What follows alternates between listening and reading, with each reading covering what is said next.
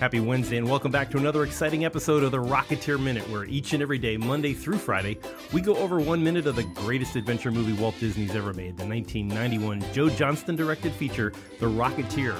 I'm one of your hosts, Jim O'Kane of TVDads.com. And I'm Hal Bryan, an airplane nerd from the experimental. Whoa. You hear that, Jim? Yeah. You're listening to a special Billy Campbell episode on the Rocketeer Minute. Ladies and gentlemen, Billy Campbell. it never it never gets better. and it never gets old, if you ask me. Oh, you didn't ask me, did you? An evergreen, no. evergreen. That's right. Well, uh, welcome back to, to, Billy Campbell, the Rocketeer himself, joining us again after it's been a while. Been, it's almost almost over a week, so it's it's funny how uh, how time flies. But, I've been going oh, through withdrawals. No pun intended. Yeah. No. Oh, jeez. Too late.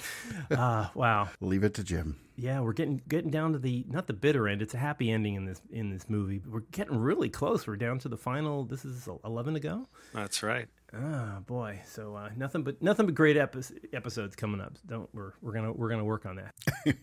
We've had a really good run on the on the show, and it's uh, it's been exciting. We've had a lot of you know entertaining guests and uh, and a lot of great responses from uh, from people in the in the business and, and people hmm. listening to the podcast and just simple fans, the finheads out there that uh, I've had a hoot. I've had a it, hoot listening listening to the to the podcast. Of course, I, I haven't been able to listen to every single one, but uh, but uh, a fair amount of them, and it's been uh, it's been a, a, real pleasure to to find out much more about this this film than I than I ever knew, and and to be honest, that that I really want to know. Um, No, I'm kidding. uh, no, it's it's it's it's been great, and uh, we really do want to want to say we really appreciate the fans that have been uh, have been communicating back with us about how uh, how much they enjoy the the show and enjoyed the movie, and it's it's quite a community out there that I think nobody's ever gotten in touch with that uh, that we're hearing a lot from. Um, and Hal, I think we had a we, we actually had a great communication this past week. It was really uh, very touching. I, I, thought. Yeah, we really got a uh, got a powerful powerful email, and uh, um, I almost feel like we should cue up some music or something, but uh, I'm gonna I'm gonna try to get through this one. Uh, it's it's not super long, but I will read it uh, the whole thing. So uh, so uh, Billy, sit back, relax. Um, here's a.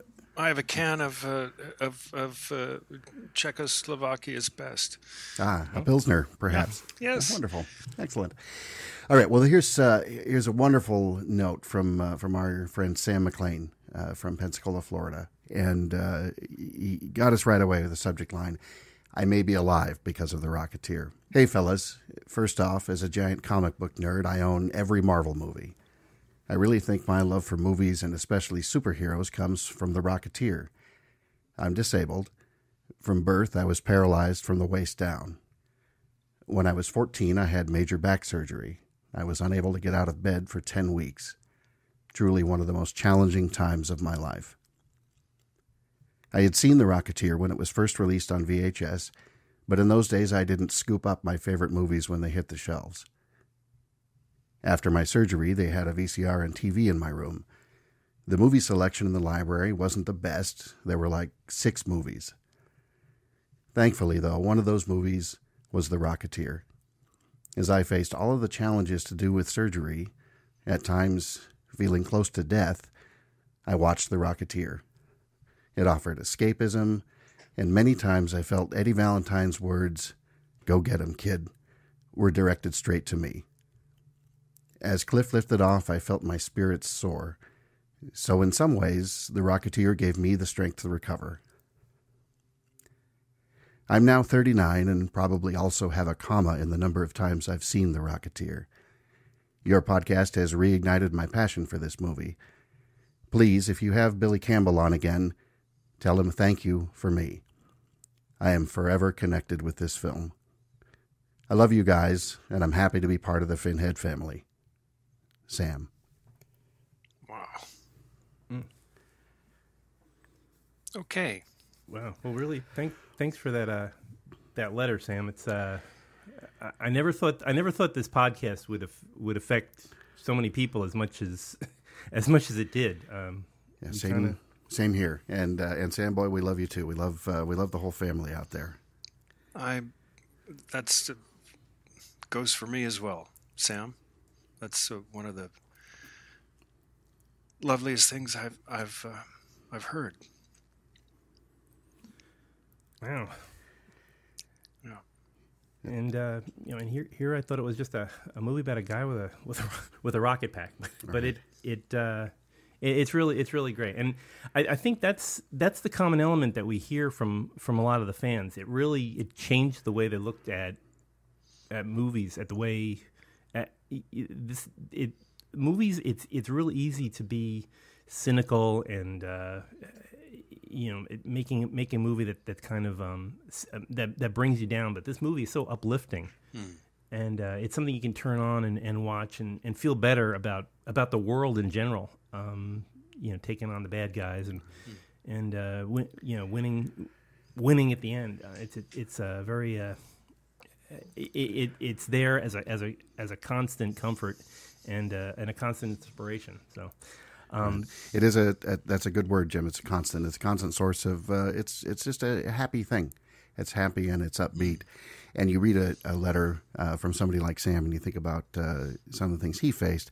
I just I shake my head. I said I've never had a hard day in my life by comparison. No. Uh, you know whatever whatever sort of struggles that all of us go through, but uh, um, it's it's humbling uh, for Jim and for me to be a, a, small sort of vehicle in this and uh, uh, and to be able to uh, as I have said many times, one of the best things about this show is is being able to reach out to people like you, Billy, and just say, "Hey, thank you. This uh, this movie's meant a lot."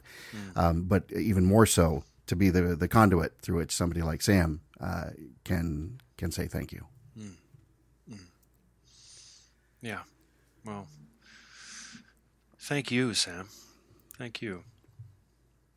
and and thanks for listening to the show. It's it's good it's good knowing that uh, that this is actually reaching reaching out to, to people. Sometimes we feel like we're talking and nobody's hearing, but uh, it, it's great to be part of this this Finhead community. I think that's a. I think uh, include me in that uh, little circle. Oh, for sure. Yeah. Absolutely.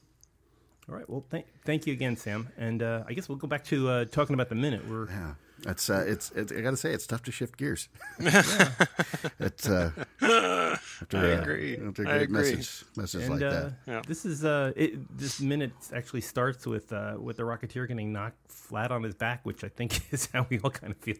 Um, it, it's uh, quite a quite a slide there. Billy, you were fighting in kind of a. I mean, this is this is an uh, you know a, a really big action scene, but it's incredibly tight corners. It's a very small space. It was um, it was a little um, rig they had in in uh, in the in a warehouse in San Pedro, uh, same place we shot um, Howard Hughes. Uh, you know uh, the thing with the spruce goose and all that. And um, uh, I remember this particular rig was up in the air, some twelve or so feet, fifteen feet had to climb a ladder to get up to it, and then it would move down a track uh, very slowly. And on the floor of the stage, they had uh, built all this sort of um, well black, you know, this cloth they have uh, called duvetine. It's uh, black cloth, and they they made this um, topography to have all these little twinkly lights um, to be the uh, you know the lights of uh, Hollywood basically. So the the whole rig of the the what do you call that thing, Jim? The, It, it, it's a, Cockpit it's a- or- the cab, right? Is Yeah, this is the it- the, the cab uh, in the sort of Yeah. forward portion of the gondola. the whole cab rig would uh, just slowly move down this this track while we were fighting, while the cameras uh, sort of shooting at, shooting at an angle to see the city lights below. And I remember them figuring out a way, and it's very subtle and very very effective. They wanted to give you the feeling of the vibration of the zeppelin, and so they I, they sort of uh, they didn't weld it. They somehow fixed a a drill. I think it was a drill to the camera housing. They put a off-weighted bit in the in the mouth of the drill, so that when it was spinning, it gave a a vibration to the camera. And if you'll notice, um, uh, you you can see it. It's just, the camera's just vibrating ever so slightly, and and it what it does is convey the you know the vibration of this gargantuan zeppelin as it plies through the the sky over Hollywood. It was really cool. It was old fashioned movie making. Yeah, it's uh, it's amazing how many cuts there. Are. I'm just just uh, scrubbing through this particular minute. I counted at least 35 cuts, so it's like every other second there's another there's another scene, and you're getting your head smashed through a couple of windows, and uh, they went through a lot of candy glass. It looks like. Um, yeah, they did. They did indeed. But so, uh, yeah, go ahead. I was just going to say, uh, Billy. At this point in the in the shooting, I'm not sure where this would have fallen in the sequence, but uh, how much interaction had you had with with Timothy Dalton by this point? Would you have already shot the South Seas Club stuff? You know, I can't. I can't really. I can't really remember. Um, I I don't remember. I wish I had. So, you know, I wish I had kept a lot of stuff. Really, what I wish I had kept was all my call sheets and. Uh, you know, one liner so that I would have all these years later a, an overview of of what it had all been. But uh, no, I don't. I don't hmm. remember if uh, how how much how well we knew each other by then. Was there anything? Was there anything weird at all in your head about? Uh, I mean, let's face it, about a fist fight with James Bond. Is that and and was it? I wonder, was it hard for him to think? Okay, this time I have to lose. No spoilers, but you know. Well, He's not the no. good guy in this one. Uh, yeah, no, it's true. But uh, the one thing I do remember, um, I mean, of course, I was thrilled to be having a fist fight with James Bond. Uh, that was thrilling. Everything about this was thrilling for me. I mean, it was my first movie. I was just thrilled from you know, I was thrilled by lunch every day. I was thrilled. oh, there's your, but, there's the memoir title right there. Yeah, thrilled by, thrilled by thrilled lunch. Cookies. That's actually pretty good. I love it. Uh, uh, but uh, yes, of course, I was thrilled to be fighting with Timothy. And uh, the only thing I really remember talking about the fight was that I really thought, I felt very strongly that uh, that Cliff should just be outgunned, that he should, you know, that that uh, Timothy would would would uh, have it all over him fight wise, and um, uh, I think Timothy was a little surprised because he thought I think I think there was a conversation we had with Joe, and he and Joe basically said, "What do you think about this?" And I said, "Here's what I think." And I think everybody thought that I was going to say, "Yeah, I think I'm the hero of the movie, and I should, you know, this should I should really plug it to him, and and uh, you know, or we should at least go toe to toe and and you know trade licks and whatever." And I basically I said, "I I think you ought to just beat the shit out of me. um, you know, I mean, he's a movie guy. He knows how to fight. He's a spy. He's a he's a saboteur, yeah. and uh, uh, he really should just pound me. And in the end, I I I get one up on him uh, with the bubble gum. And Joe was like, "That's great," yeah. and I think uh, I think Timothy was just surprised because uh, pleasantly surprised, but uh, I think he expected that I would want you to be the hero. Yeah, I don't and, know, you know, something. Yeah. No, Sometimes it's it's more heroic to, you know, be human. Yeah. It, uh, That's what I really what I love about this movie anyway, because it's not a superhero movie. It's not. He's just a flyboy. Right. Yeah. He, he's got the cracked ribs to prove. Well, that's another minute. Well, yeah, exactly. Yeah, yeah Cliff. The, uh, Cliff, uh, beginning to end in this movie is one of those guys where you flip back and forth, saying, you know, I either want to be that guy or at least want to be friends with him. So, yeah. Yeah. And then, uh, then you walk out saying, "Boy, I hope the guy who plays him isn't a real jerk in real life." I, I, hope that's not the case. And guess what? Yeah, yeah. it's not. Uh, I, one of the things that I can't remember if Danny Bilson said it on our show or if he said it in an interview somewhere else, but that the line about Timothy Dalton saying "I do my own stunts" came out of something like Empire Magazine or Entertainment Weekly, where Timothy Dalton was proud of himself for doing his own stunts on the mm. Bond movie. So dropping mm. that in to the mm. script was just you know a, a pure Dalton thing. That is fantastic. That's great life follows art, but yeah. life follows Empire magazine or something. So, Billy, in uh, oh, about second fifteen or so, um, you're getting uh, your head sort of smacked into that uh, that wooden mm. box, mm. and so tell us a little bit just about how you how you do that. Are you know he's got his hands on your shoulders? Are you sort of driving the motion to make sure you you're not really smacking your head? How would you how would you No, state something like that? I think, uh, as I recall, I was pretty well really smacking my head in there. I mean, it, it's a hollow wooden box, do you know, and and it makes a heck of a lot more noise and looks a heck of a lot more solid than it is. Uh, I smacked my head against it a couple of times just as we were rehearsing the scene, saying, "Look, Timothy, here." And, and I just went whack, whack, whack, whacked my head into it. I'm like, listen, you can just shove my head into it. It doesn't hurt. And so he's like, all right. so, Wow. so, uh, And talk about You know, I doing mean, your own stunts, right? yeah, but it's Yeah. one of the, it's one of those things like there are certain things that just don't hurt, like aluminum garage doors. They make a heck of a racket. Yeah. But it's like jumping into a mattress. It's so soft. It doesn't hurt in the least, and you can you can literally sprint into one, and which I've done, and and uh, and and then turn in the air and slam it into it with your back, and it doesn't hurt at all, and it it sounds like it sh- like you're dying or should be dying. so this was just one of those things. You know, it was a hollow, basically soft wooden box that made a lot of racket, but uh, it didn't it didn't hurt at all. I never didn't have a. I don't recall having a even having a sore back of my head.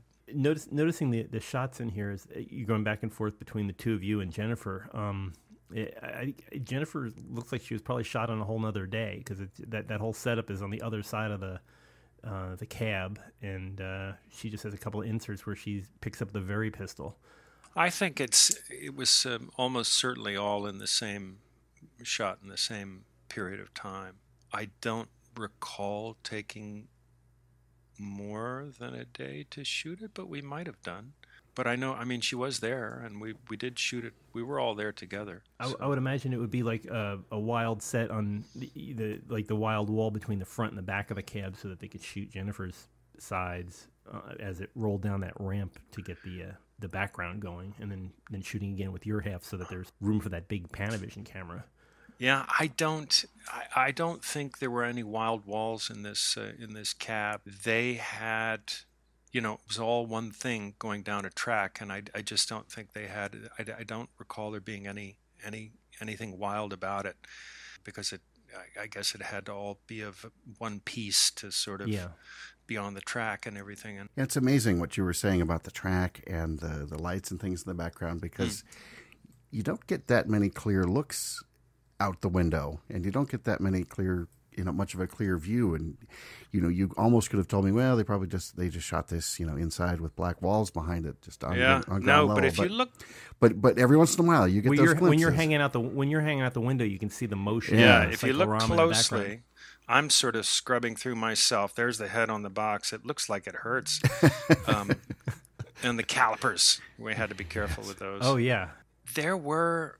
Now I'm not seeing. I'm not seeing too many of the darn lights right Well, now. It all looks black. But you know, just as uh, as Jim was saying, um, second forty-seven or so, and uh, before we're looking, uh, before we change shots to look down on you out the window, as uh, as Dalton is pushing you through the window, you do get a good glimpse of lights and even some hillsides and things back there, and it's just enough to make it uh, really suggestive. And then that shot again, looking down at you, is is terrific. Oh, there you go. Yep, hanging out, hanging out the window. You can see there, right there, Yeah. in the back of my close-up, hanging out the window. yeah, yeah. so- That's all. Just those are all just like little Christmas lights on on uh, on a black blanket. and it, it comes across great. It just Yeah, really, it really does, doesn't it? The uh, the flare itself was that a practical uh, floor effect or was that CGI added later? I think some of that was. I can't remember. I think if you scrub through very cl- When- slowly. Oh, When she shoots, it looks uh, to me it looks almost like there's a there's the smoke the smoke from her pistol, but then it looks I, I keep thinking that, that the light effect is just an added in. yeah. I think the light effect is added in because if you if you scrub very closely, and you look in that first clear frame at the pistol and they and where it's aimed, it's not aimed where the um, yeah, where where the flares headed. where the flare goes. Yeah, and It's it's sort of- you get this weird it's- sort of arc in the in the flare, like it's already falling. You know, Yeah. as if you would you know would shoot it straight up, and But it's pretty good. it's that's excellent. Yeah. Oh, and and of course by flare we mean uh, the signal or signal patronen uh, that was uh, fired from the Leuchtpistole, as you see on Oh, the uh, the lovely kicking green uh, the green box. No, just doing a little bit for our German listeners, of which I'm sure there are scores. I love this. In it, go ahead. Sorry, I didn't Oh, mean to deprive you. I was just uh, a, quick tangent before we uh, we get closer to the end of the minute. Speaking of uh, of picking nits, uh, as, as I as I do, there's a great uh, a great view at about second eighteen um, where uh, uh, Dalton is grabbing the, his, uh, compass or calipers uh, to start stabbing you, and we see that aeronautical chart sitting there, and I it's a little bit it's not not drastically so. It's a little bit too new for the era with a few of the things but the nice thing is you can see uh, you can make out a couple of things like the restricted area numbers. And so this is uh, this is the Los Angeles area, and just about under Dalton's fingertips, below that uh, little bits of broken glass, would be what is now Edwards Air Force Base. And so at the time, it was Muroc, uh, uh, Muroc Dry Lake, and and all of that, and those uh, restricted areas identify that as places you, you couldn't fly now. So I say again, it's a little bit too new, but the symbology on these charts really hasn't changed all that much. When I would go buy one today, and and you could look at the one from the 30s and and still recognize everything. Just a lot of some of the symbology changes a bit over the years, but nice that they got the right chart in the right spot. when Yeah. the when the when the Navy had uh, had uh, dirigibles on the West Coast, where were they? Where, where were they based in Los Angeles? Were, were there? You know, like, that's you a good. que- I'm not sure about Los Angeles. The big base uh, was Moffett Field up in the Bay Area. Oh, okay. Um, but uh, you know, I think we've got uh, we've got an airship expert coming on here soon, so we'll and we can bug him about that. But I remember uh, just going out to see Moffett Field and driving by there, seeing the big hangars, even as a kid in the '70s. Uh, those huge hangars were still there, and in fact, uh, Google bought one of them and refurbished it, and uh, is uh, sort of operating it in partnership with with NASA. Actually, he would have been on yesterday's episode. Oh my of order, gosh! so. So remember yesterday when I asked it. him that Yeah. question? Funny how pressing you were to, to ask him about that. That's That uh, yeah, that's uh, that's amazing. And uh, you, Billy, next time you're you're shooting a film and you make things out of sequence, if you would just periodically look at the camera and just break the fourth wall and say, "Well, you know, we make these things out of order." So I'm punching him now, but really, I'm shaking hands with him yesterday. So that would that would make me feel a lot more professional about my work here. the, the other thing that, that I was just wondering is as we're getting to the, the, the very end of this particular minute is fellow who is the he's not a Sturmabteilung he's a uh, is he one of, or maybe he is the, the fellow that's on the ground uh, doing very careful acting work from the floor is that uh, I- I mean, do they? Is he the first one on the set? That does he have to like? He seems to have the longest time being, being you know, inert. hold still. Yeah, I think he's. Uh, I think he's actually a dummy. is Um, is he? Okay. at certain point, that guy. I'm looking at him now, and yes, I think he's a dummy. Oh, okay. I Yeah. was just wondering if because uh, he he's the one that fell down the stairs when Yeah. when he went up to find you. Yeah. Uh, I, I was I was wondering about that because I'm like, well, it's an awful lot to pay a guy to be sitting sitting on the stage all day. So okay, he just No. switched out to a. Uh, I think he was switched out. Yeah. That's showbiz. okay, quite a great uh, kinetic episode. I think would be the best way to describe this particular minute. But we've got uh, we've got more flames and mayhem to talk about tomorrow. So let's uh, let, let's hold off until uh, until Thursday. And Um, we shall. Yes. So uh, for all you finheads out there and uh, lovers of the show and the and the movie and all that, uh, if you'd like to continue the conversation, we are available always online. You can find us at Twitter, all the usual places. Twitter, Rocketeer Minute. Uh, find us at Facebook, facebook.com slash Rocketeer Minute. Find us at the great big website, rocketeerminute.com. Catch up on all the previous episodes that some people may have missed. Uh, so uh, go go out there and fi- find that. Also, lots of cool swag uh, you can get from Amazon to learn more about the Rocketeer. Uh, so we'll join you here tomorrow as we watch the continually uh, disappointing trip of, of the Luxembourg as it heads toward uh, ever closer to Los Angeles. The Here on the- doomed Luxembourg. Yeah, it's the poor Luxembourg. They just can't catch a break. uh, but we'll, we'll see you all here tomorrow on the Rocketeer Minute. So until next time, over and out. Over and out, boys.